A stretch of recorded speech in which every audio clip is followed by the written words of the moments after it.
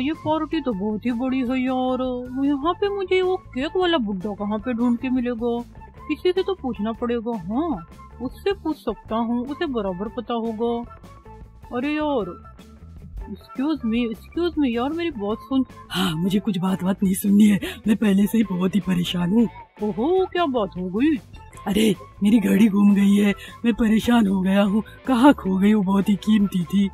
ओहो तुम्हारी घड़ी चल रही थी क्या? हाँ क्यों नहीं चल रही थी? ऐसी घड़ी लेके घूमूँगा मैं। अच्छी खासी चल रही थी। ओहो फिर वो चल चल के कहीं दूर चली गई होगी यार। उसमें इतना परेशान होने की क्या बात है? और हाँ वो जैसे चली गई ना चल चल के वैसे वापस भी चल चल के आ जाएगी। हाँ ये तो एकदम सही है। ओहो ये तो एकदम परेशान आदमी है। मैं इससे नहीं पूछता किसी और से जाके पूछता हूँ मैं।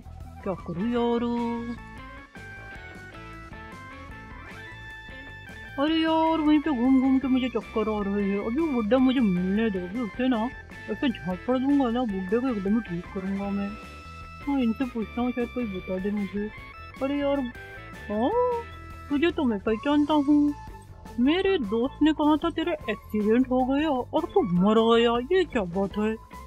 अरे ये क्या बात है? मुझे कुछ समझ में नहीं आ रहा है।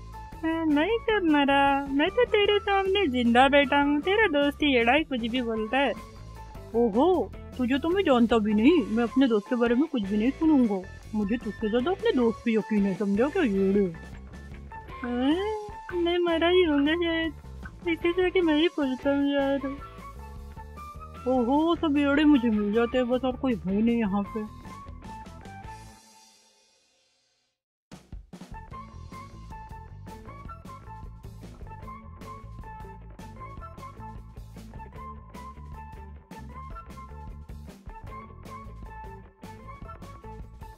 अरे यार उस बुड्ढे को ढूंढ ढूंढ के ना? मेरे पैर में छाले पड़ गए जूते भी भीग गए बिना जूतों के भी जाना पड़ेगा मुझे। अरे लेकिन पूछूँ किससे? मैं पूछना तो पड़ेगा मुझे अपना काम तो करना पड़ेगा। अरे ये बुढ़ा आदमी उससे पूछता हूँ तो, तो बुढ़ा बुढ़े को वैसे भी जानता होगा। भले ही सिगरेट पिया कुछ भी किए पता चलेगा उसे। अरे सुन मेरी बात अरे उधर मत देख तो इधर देख। मुझे कुछ नहीं सुनना है मैं जा रहा हूँ।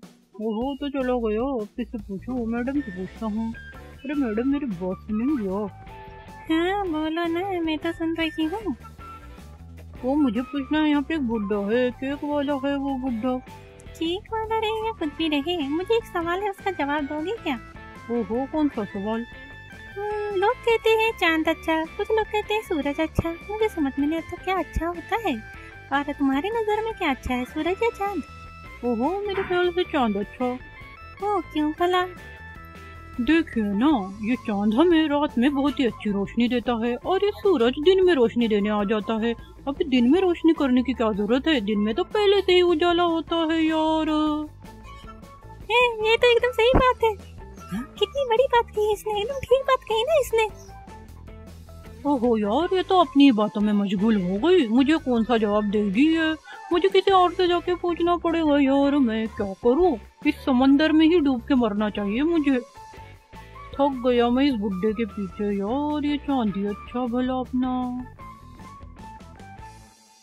अरे कोई बुड्ढे को ढूंढो यार, मेरे लिए बुड्ढे को ढूंढो, मैं पागल हो रहा हूँ। वो बुड्ढा मिल गया, आखिर मुझे बुड्ढा मिल ही गया। अरे सुन अरे सुन मेरी बहुत तू। अरे तू क्या कर रहा है? तेरे केक की डिलीवरी तो मैंने तेरे घर पे कर दी थी। अब तू यहाँ पे क्या कर रहा है? मुझे आराम से रहने दे।